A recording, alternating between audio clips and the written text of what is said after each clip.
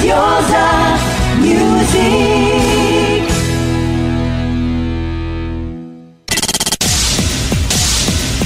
A dir la verità siamo pronti anche noi, io qui a fianco a me Tarsito! Evviva, Evviva! Buonasera, buonasera. Ma di evviva e di tantissimo parleremo tra un po'. One Republic! You rescue me? Would you get my back? Would you take my call when I start to crack? Would you rescue me? Uh, would you rescue me? Would you rescue me when I'm by myself? When I need your love? If I need your help, would you rescue me? Uh, would you rescue me? Radiosa Music.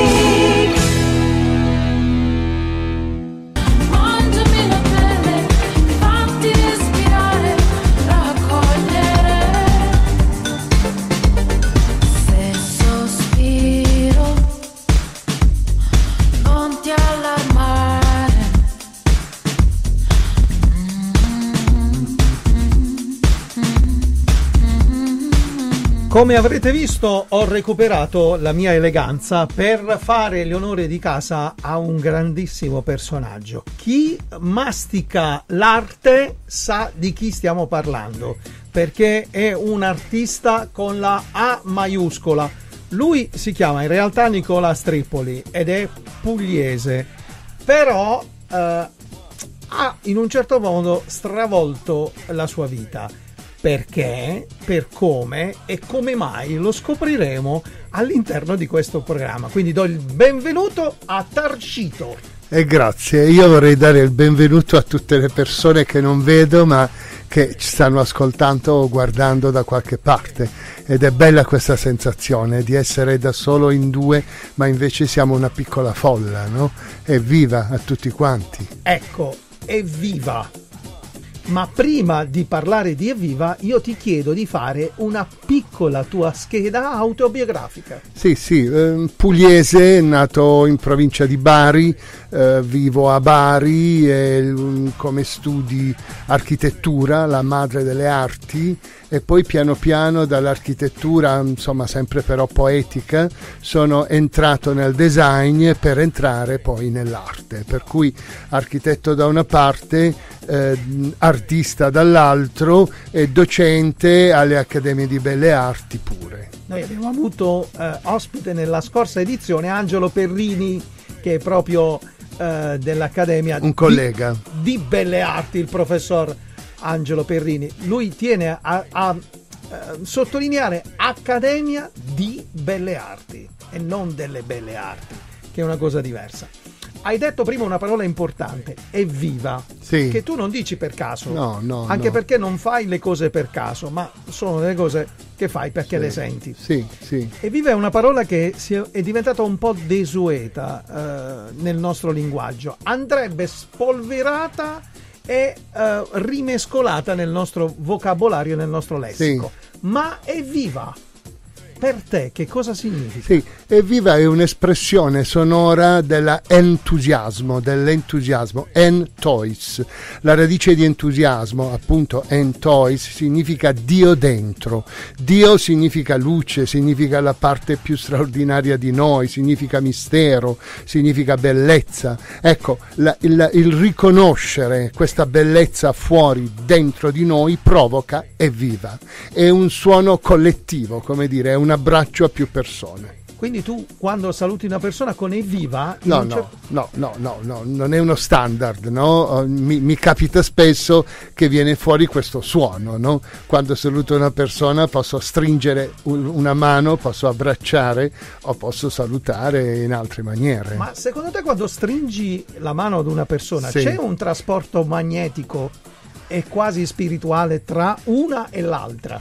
Sì, sì, beh, volendo dipende dall'intensità, ma non, non solo l'intensità, dalla consapevolezza di questo incontro eh, di- di- di- della mano che è, è una meraviglia, la mano è meravigliosa, la mano è un miracolo, con la mano possiamo fare tantissime cose, possiamo anche accarezzare, possiamo indicare, è davvero uno strumento meraviglioso. Ecco, se abbiamo la consapevolezza di questo, uniamo due meraviglie. Per esempio, ultimamente sto facendo facendo una performance d'arte dove io metto una sfoglia d'oro sulla mano di chi vuole, invito le persone spiegando cos'è l'oro, materia divina, chi vuole viene e io metto questa foglia d'oro, come dire, sacralizzo questo strumento straordinario e dopodiché c'è la stretta di mano. Questa è una ritualità, questa è una celebrazione e in questo caso è viva. Signori, perché fulmini e saette su questa puntata di stasera. Vedrete che cosa eh, succederà. Noi non vogliamo essere arroganti, come dice Irama, ma vi vogliamo introdurre nel nostro cammino materiale e spirituale. Arrogante. come un taglio con il sale. Ma la voglia che ho di prenderti e di farti mia non mi fa ragionare. Sono un arrogante.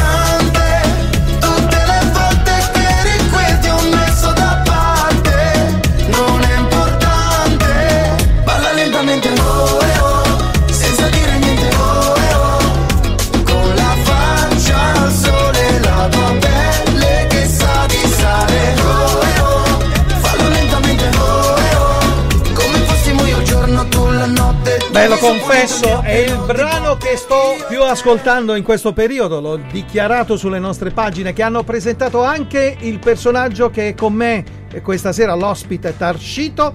Poi ci spiegherai che cosa significa Tarscito, perché questo nome non ti è stato dato per caso, ma da un sommo eh, personaggio, un- una persona davvero importante che è Osho. eh?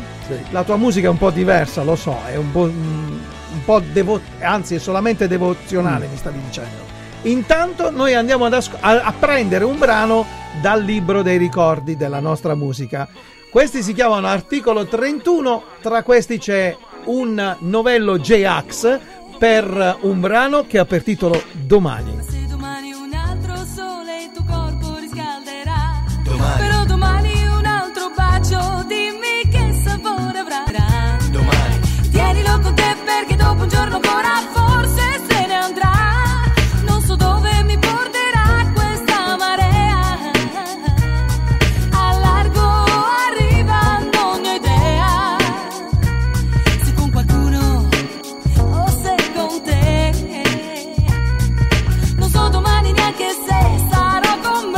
Domani, articolo 31, J-Ax, io ricordo che ho intervistato proprio J-Ax alla presentazione eh, di questo brano, stiamo per andare in pubblicità, ma prima di cedere lo spazio alla pubblicità voglio dirvi che il 14 luglio a Montescaglioso il comune di Montescaglioso organizza la grande lirica da Verdi a Puccini. A Frappelli.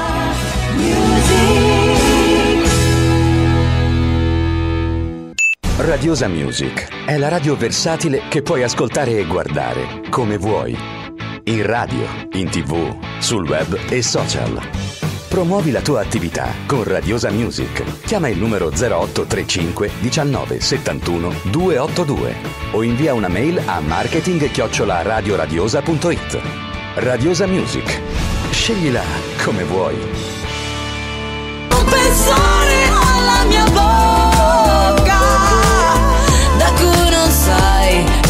difenderti. Ultima produzione del mio amico Toto Marcucci, questa bellissima canzone di Bianca Mazzei, Azzei, non Mazzei, Azzei, La mia bocca. Ringrazio ancora Toto Marcucci perché ci sta regalando delle produzioni davvero molto ma molto eh, eccelse praticamente. E adesso Show Mendes e Camilla Carveglio per Signorita in attesa della Meteopillola. Novità.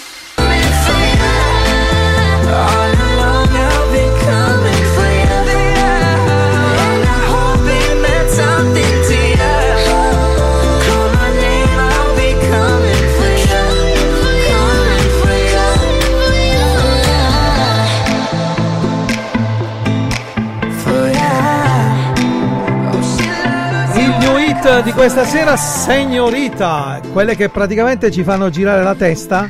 Eh, Shawn Mendes e Camilla Carbeio, Cabello, eh?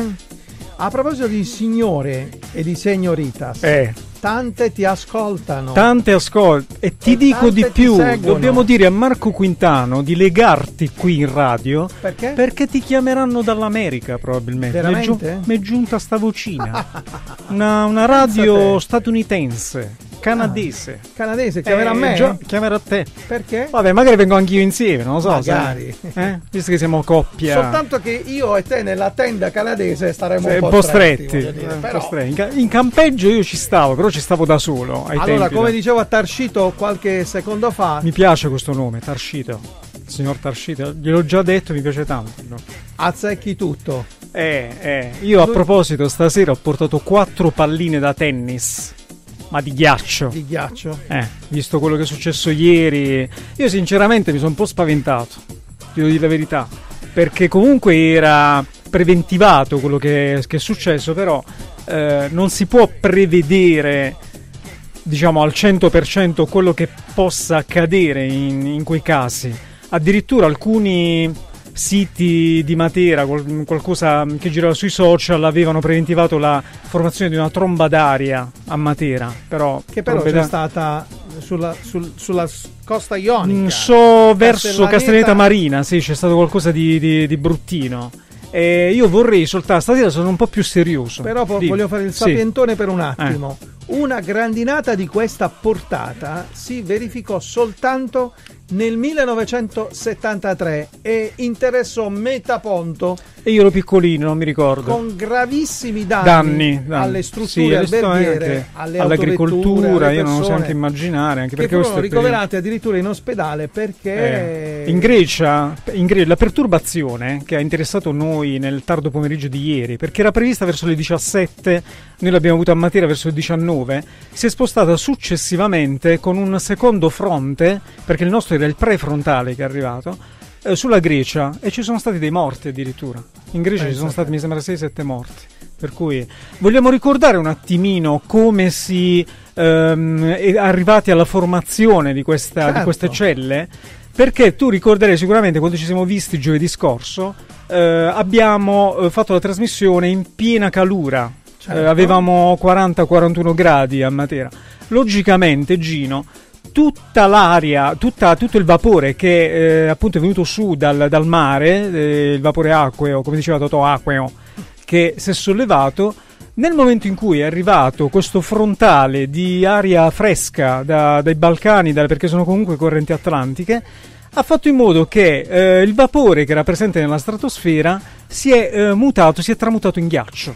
E le conseguenze sono queste perché ci sono stati seri danni e insomma, speriamo che non, non si verifichi più. stanno ancora Qualcosa del genere. e quindi vedremo che cosa succederà. Mm. Ma Tarcito vuole sapere che cosa succederà nelle prossime ore, nei prossimi giorni, sia in Puglia che in Che in Basilicata. Basilicata. Infatti ricordiamo che le nostre previsioni sono soltanto per Puglia e Basilicata, non ci allarghiamo troppo perché dobbiamo essere un pochino più precisi per quanto riguarda la località. Allora Gino, nel- in questo fine settimana purtroppo non ci sono buone notizie perché domani, sabato e domenica è in arrivo una nuova corrente perturbazione atlantica che porterà delle precipitazioni eh, piovose, temporalesche. Speriamo che non si riformi ancora grande. Sicuramente saranno precipitazioni molto meno pesanti rispetto a quella di ieri. Però comunque, siccome le correnti a livello stratosferico sono cambiate, perché eh, l'anticiclone africano si è ritirato e ha lasciato spazio a questa lingua che proviene di nuovo dai Balcani, dalla Russia direttamente, da aria fresca, a venirci a interessare, sarà un po' più difficile adesso ritrovare quelle condizioni di aria calda che abbiamo avuto fino all'altro giorno.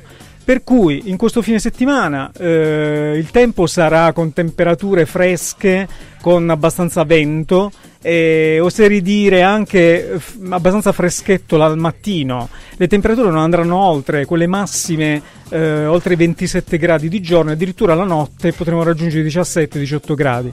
Però udite, udite, eh, questa è un'anticipazione che do, fino purtroppo al 28 di luglio l'estate ci lascia, cioè nel senso che non è che non vedremo più il sole, però a tratti andrà e verrà con una serie di correnti atlantiche che porteranno precipitazioni e non ci sarà più diciamo il caldo Il che si caldo sperava afoso, anche però. afoso, considerato anche il fatto che eh, siamo in pieno periodo estivo eh, in cui ci dovrebbe essere la, mh, La il solleone e purtroppo quest'anno fino a fine luglio probabilmente non,